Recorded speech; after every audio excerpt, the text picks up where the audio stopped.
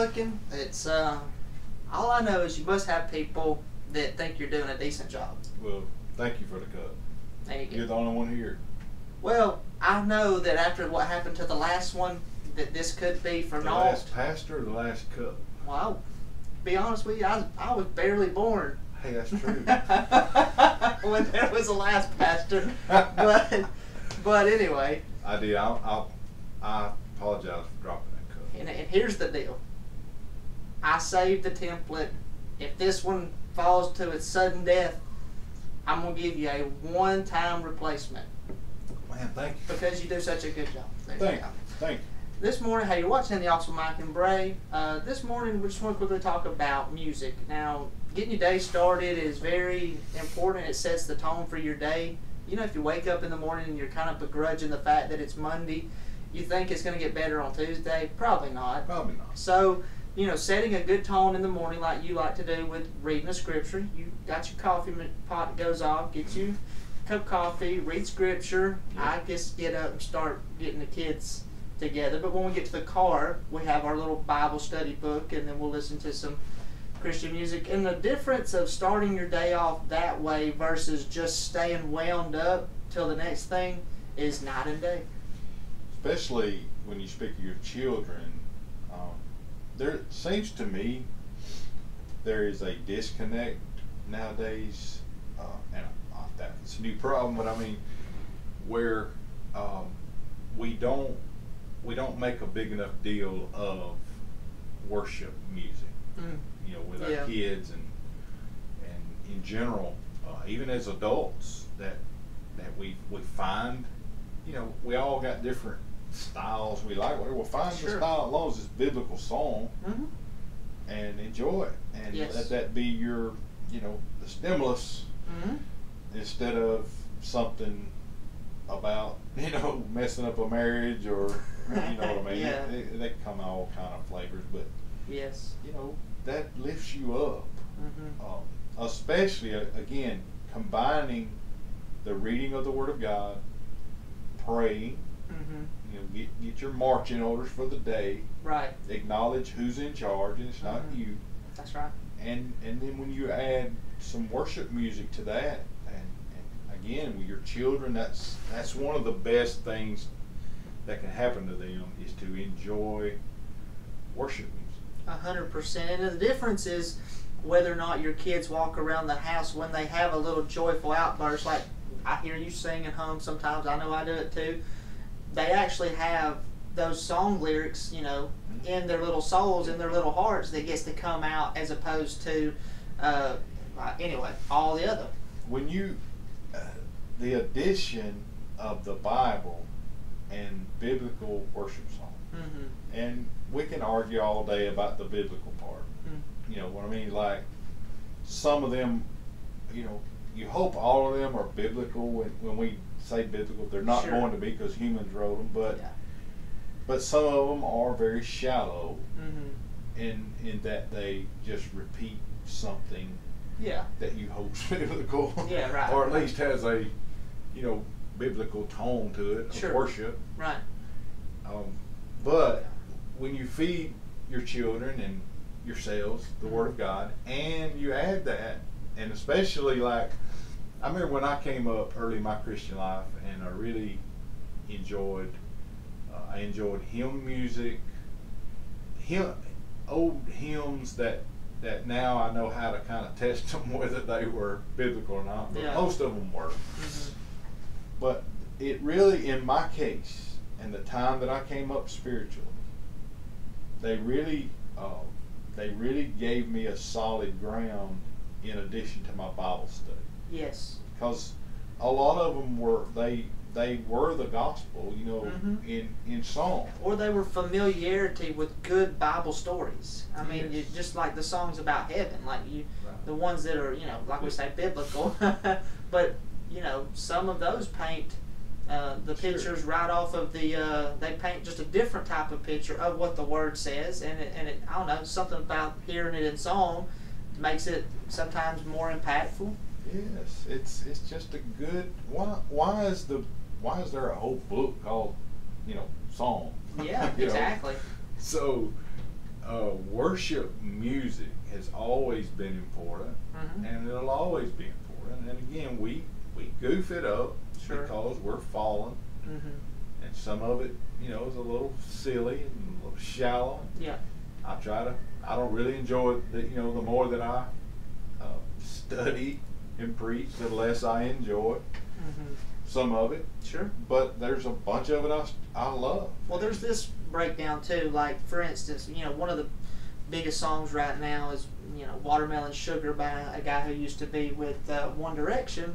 And let's just and, and, and look, you know, even in schools and sports fields, you know, they play all kinds of music sometimes that you know, you know, the kids hear it one way or the other. You kids hear the stuff somehow, and those songs you have to take an active approach in explaining why they're not beneficial to you. You know, you have to you have to actually say, "Hey, I hear you singing this song, but have you ever thought, you know, that a ten year old child is singing about, you know, a raunchy relationship? You know, you're like, "Hey, sweetie, we, we this song may sound great, but we really don't need to sing it. And here's why." Even some of the stuff that is a little more shallow, at least you're not having to do that whole deconstruction. So, you know, some people are like, well, my kid's learning, you know, seven lines seven times or whatever the, the joke is when they listen to X Christian station It's eleven. 11 times. Well, you know. So, yes. But you don't have that deconstruction process. It's called straining at a gnat, Yeah, swallowing a camel. that's right. So, we strain at a gnat about Christian music sometimes, Mhm. but then the camel gets eaten because our kids are still listening to stuff Yeah. that they shouldn't listen to that's secular. hmm So, yeah, that's a, it's an age old. You know that. Course. I mean, I got, I got saved in you know the early '80s. Yeah. So the worship wars were hey, I got scars all over me. sure. Because you know I was the first you Mhm. know student minister here who you know. when we- Tried a little of that. well, we stepped out and you know uh, did new stuff that they had never heard before. hmm We even put it in books for our kids when you take them on camp because there was no way to. You had to make your own book. Yeah, Yeah. and It wasn't we- like you could just go buy them. I had a couple of guys that were jam up here in those days helping me at college age. Mhm. One of them was here yesterday. He, lives in Oklahoma. Yeah. But uh, they were they were sharp on Mhm. helping get stuff together, Yes. and um, that's you know I got called down for that two or three times, but it it was because they were actually enjoying worship for a change. That's right. So you know I just went on with it. And think about the fruits of, you know, I know we're really talking about how to get your morning started, but uh, many people that have been in our church um, have, you know, been partially influenced by the fact that there was kind of a worship style change, and and have been the beneficiaries of that. When a when a let's say a couple in their 60s or 70s gets to sit in church and their grandkids want to be there with them. Oh, you talking about what wouldn't you give for that? And and the fact that let's just take i'm very thankful for this we're humbled by it but uh, in our new members classes you know three college students going through it in two weeks time Right. you know you're like man okay you know if that's what you know if this is if this is firing Yes. on these cylinders like this we're going to be about it. And if, it, if it's working across all these generations you know and god's some is blessing this you know we should mm-hmm. start our day with it probably too. And I honestly believe this, though, that the kind of people, young people, you want to attract, they love hymns too. right. Which They we, really- don't, we don't hear like when when and you say it sometimes we, we we could get away with more you know what i mean sometimes Oh, yeah. of, of the old goodies Yeah. you know that, that are out there You put a, you put a p- bass guitar to it, yeah oh yeah and our people love it. And these young people, some that, that come, they don't. They're not like the people that during the worship wars that would fight you over.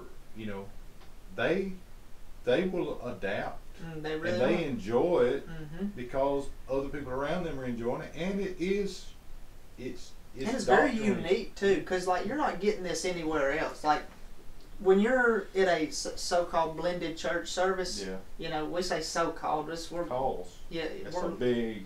yeah. You say blended. Wow, what's that mean? I mean it's a it's a wide Wow. array of things. Yeah.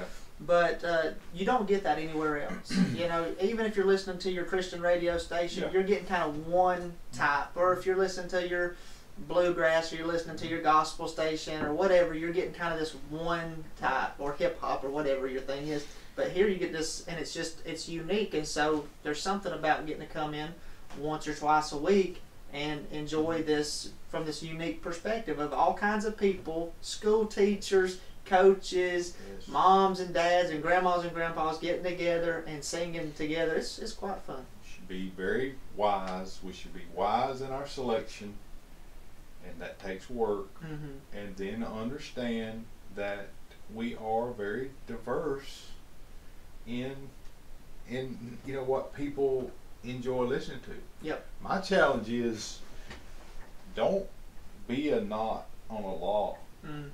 when your type of worship song is not being sung. I don't care how old you are. Right. I, and we don't experience that here. No. Like now, I have. It's been a long, long time Mm-hmm. That you know we had to we had to make it happen. Right. And but hey, I enjoy it all. Exactly. I mean, I'm just glad to be in the house of God, and Amen.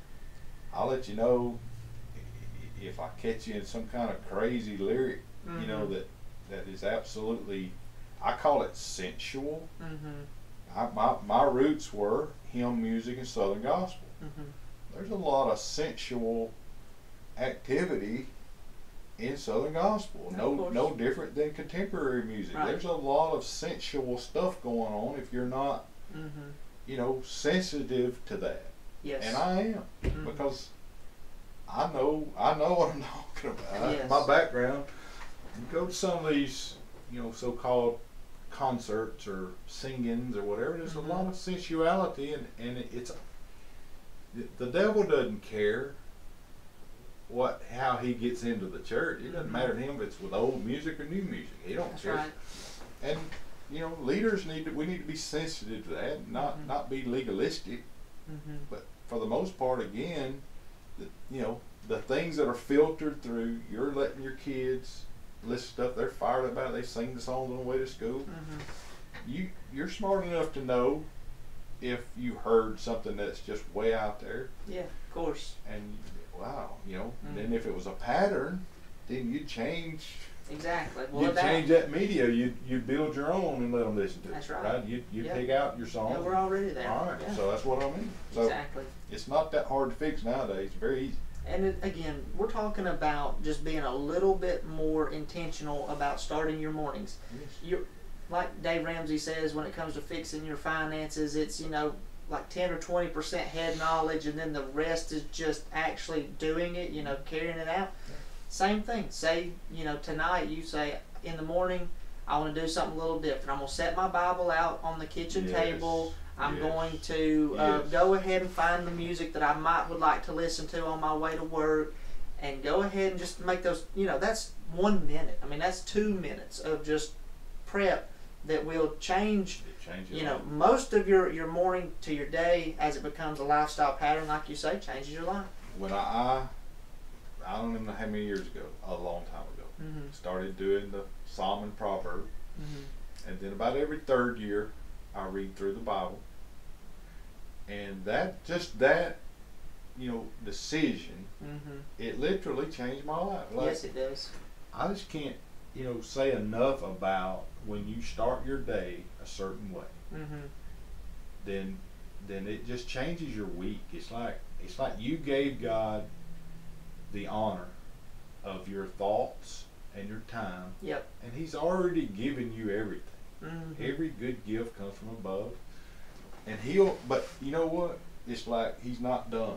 Exactly. You He already He already gave you you know life yes. And health and a job and, Mm-hmm. and you know His Son His son. and the air we breathe and our heart beating. Yes. But then when you honor him, it's like it's almost like another door to your day has been opened to where you, you Right. think about who are the lost people in my life. Who, Mhm. you know, my job is my mission field. My, Mm. my school I'm attending is my mission field. I'm stay-at-home mom, or my children and, and the people they know, and my neighbors or my mission field. Whatever. And that's how we're supposed to operate. It's a world that I'm glad Yeah. that God, you know, allowed me to be a part of, and then opened my eyes to how to, to increase. You know, like A hundred percent. it's it's. Uh, I I literally now at at the age that I am, and and doing what I do for a living, Mm-hmm. I start my Mondays on Sunday. Yeah. I go ahead. That's I, right. See, I don't, I don't dread Mondays anymore. I mean, No. we make fun of it. that stuff. Like Yeah. I say, I quit every Monday. But actually, I quit every Sunday. Yeah. But, but uh, you know, I just go ahead and start. I, I start thinking about. It. Sometimes I actually start my sermon. yeah. It's rare, but I at least. You're thinking about. Oh, I now. read Yeah. the text, and I, you know, hey, Mhm. You know, so this morning I got here very early, and I already kind of know a rough, you know, skeleton. In a little while, I'll, I'll, you know, start pinning it down. Yes. But well, the same thing. Like when I was in secular work, my last few years, is I knew God was about to do something in my life. Well, Mhm. I, I, I, I had a bag I'd carry every day, old satchel, Yeah. stuff in it. And one of those was a Bible, Mhm. Another one would be a book by a Swindoll or a Stanley or Yeah. a Rogers, Adrian, you know, You're something. talking about some an, an, easy read that, Yes, that anybody could buy and, Well, and, and use. Yes, Yeah. and um, they literally, it literally changed my life. It Yes. literally made me more evangelistic, Mhm. more, you know, I was in a job where, just like everybody else, you know, Yeah. surrounded by the unsaved, Yep. and not losing my testimony was very important to me. hmm So those things helped. When I was in my, I guess that'd be my second full time job. I was a like a, a machine operator, and so I had my own machine, and I taped up two chapters of the Bible, and I'd sit there and, and, and work to memorize it as NIV 1984 edition. I found out later because I got a newer copy of NIV. I'm like, why does this not read the way I memorized it? But anyway, Yeah. but the point was, you know, it kind of set the tone for my morning because if you go to work at 3 in the morning and, and you're memorizing scripture by 5 a.m., there's something sweet about that with the Lord that I, I'll never forget how much it benefited me to just try to give some of that back to the Lord that early. And, you know, some people will say, well, you know, I read the Bible at night, and that's good, but there is no substitute to to starting with the Lord, even if it's just something small, something in the morning, because you're about to face Yeah. a day full of its trials and tribulations. So, In a fallen world. come on. But music, prayer, hmm Bible reading, you know, some level of devotional study, whatever Yeah. you do. Some people do a lot, some people do a little, Mhm. just do something, Yes, and it just changes your day. It just you it does. because the Word of God through you know through Bible reading and study and through music sometimes hmm is what He uses to mold you, Yep. and don't rely on one of those. I mean, hmm you know, I know a lot of people. I don't care anything about the. You know, one guy said, "I don't care anything about the worship time. I'm ready for the sermon." Well, whatever. I appreciate you, but I'm I'm interested in the whole deal Yep. because they did the whole deal right. in the Old Testament, and even Paul commanded us Mhm. to sing what songs, Psalms, hymns, and spiritual songs. Yep. That's not a suggestion. Yeah. I mean, that's how you do business. Mhm. And and so the people of God, when they give back their time, their, you know, some of their brain matter to to uh, to the Lord, Yes. and and and think Mhm. about these things, Yep. the good things, That's right. things that are you know holy, things that are hmm you know, there's some hope in there. Yes. He will he will bless you and use you on a, on a level you didn't even know you could go. And I'm trying to start that more early with my kids than even you know the Lord allowed me to. But like today, it's it's fall break for for my child, many children, but she's staying today with her one of her granddads. And anyway, I said, you know, after we prayed and we did our little I said, today, why don't you try to see if your pawpaw will come to church with you this week, you know, and invite him because let's just be honest, my ten year old working on my mother was more or less the factor. Oh, I'm sure. You know what I mean? Because it's just something about a grandchild, you know, with a pure heart. a ten year old is not asking you to come to church for any nefarious reason. Right. Period. Point blank. Other than they want to see you and they want what's best for you. You know, so start that sooner. You know, with her, and we'll see how it comes out. But I think we can all kind of adapt some of that, like for the men this week, as we're we're looking forward to Sunday with a men's breakfast. You got five days. What man, young man, are you going to invite that you'd like to be a part of that? Because this could be their first, as we quite found out this week, this could be their first interaction with the Word of God. Oh. Very likely. Yes, and and again, why why are we surprised No, we shouldn't be. that? And and that's why I try to be very careful in how I talk to people. hmm You know, anytime, but but especially in when you get them to come to Discover class or whatever. When Yes. it's you know they they've been a guest. hmm We don't we don't need to understand. We are in a.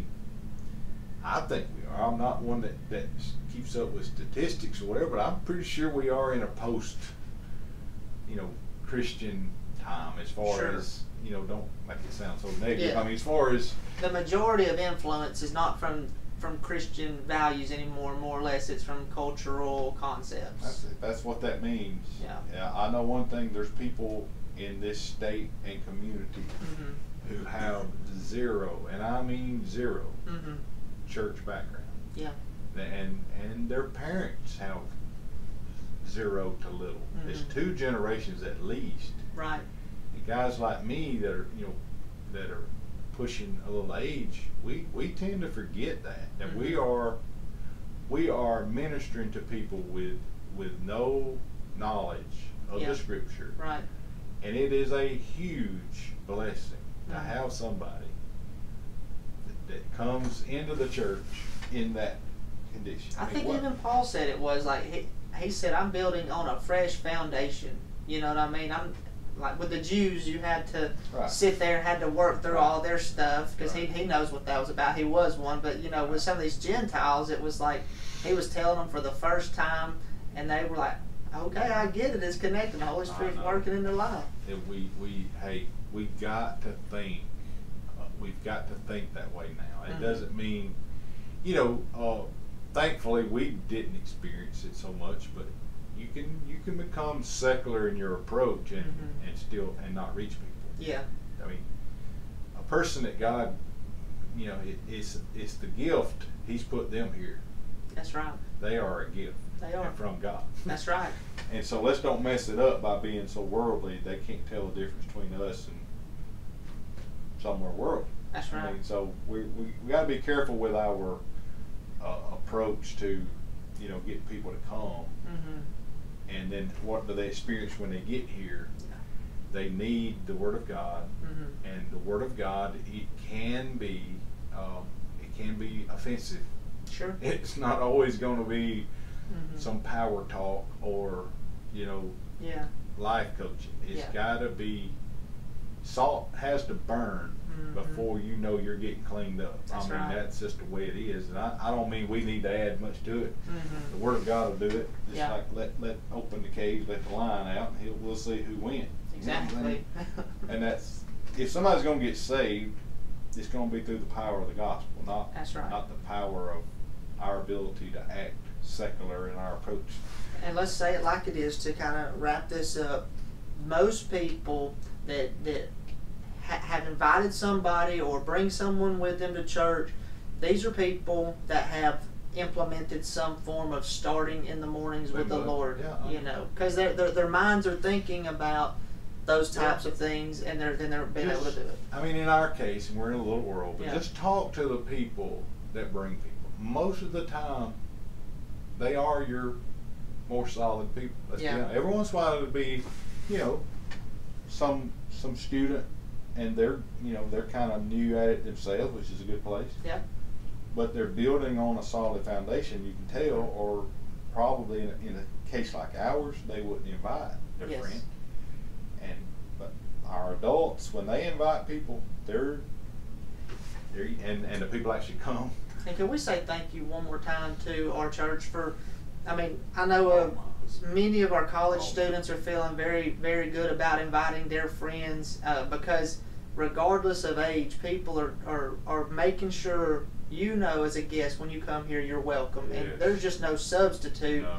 for that. You, no matter how good the music or the preaching is, you can't overcome a cold No. church. No, and I'm so thankful Yes. I, that people tell us that. Mhm. You know, there's been times through the years where, and every once in a while, you're gonna get popped. Sure. They sit in their own place around their own person. Yeah. And you know that person, you know, Had a bad day or, or a bad life. I don't know. Yeah, right. But, but thankfully, the vast majority of people tell us, hmm I couldn't have been treated better. Yes. And that, whew, I'm Talking about takes a straight load of stress off of It everyone. does. It's such a an element hmm of outreach for you. Yes. When when I was treated well at 20 years old, and you're talking about early 80s, Yes. and I was treated very well here. Mhm. I mean, and it, if I hadn't have been as anti as I was, Yeah.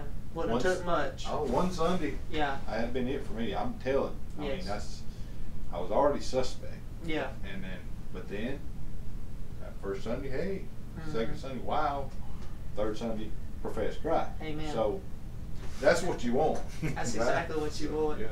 And we're looking forward to what yesterday gospel was shared or two days ago because we live in the time war. Aren't you glad I messed it up again? Well, I did it too. You you enjoy it when I do it. I do. I really do. I know, and it's okay. But thankfully, you got to share the gospel with a young lady, and you know, just believing how we believe, because we're not going to live defeatist. We think the Lord's going to do something Oh, yeah. in her life, Oh. and for the other people that Wait. you know, we're here for the two services. Great message. Well, the young man you met with hmm got saved a few weeks ago, right? Right, You- that's you right. Took him through Discover. and Mhm. He's supposed to follow through this coming week. Yep. So, hey, it's you know, it it was a very productive day. That's right. That's all I know to say. And we're looking forward to some more of those. Yes. Come join us Wednesday night. You'll be out under the tent. Under the tent. And uh, what's the temperature? How's it? It's gonna be nice. Oh, is it gonna be nice still? Okay. Yes. It's at the end of the week that it kind of Yes. dips down. Sunday morning for the men's breakfast will be cool. But them men know how to put on layers. They're, Tough. they're tough They dudes. probably squirrel hunters. Yeah, like that. exactly. They- Yeah, they got this. Yeah. But then we'll be in here um, for most of the service, and then we'll have a little uh, outdoor thing going on um, at the conclusion. You know, near the conclusion of our Wednesday night. So Oh yeah. Come on, join us six thirty Wednesday. We'd love to have you here. Yes. Brother Mike, you'll pray. We'll get out of here. Lord, thank you for blessing us with a, great Sunday this week and Yes. uh, new people. And uh, Lord, thank you for our people. Uh, they're, Yes. they're solid. They, they've been good to people when they visit. And thank you for that. Uh, thank you for the people you've saved. Thank you for uh, getting us uh, through these times. And, Yeah. and Lord, they we just takes uh, navigation and strategy, and all that comes from you. You you Help us and thank you for that. Just use us uh, for your glory. Help us to reach as many, Lord, as we can uh, before you come. Find us faithful, we pray. In Jesus' name, amen. Amen.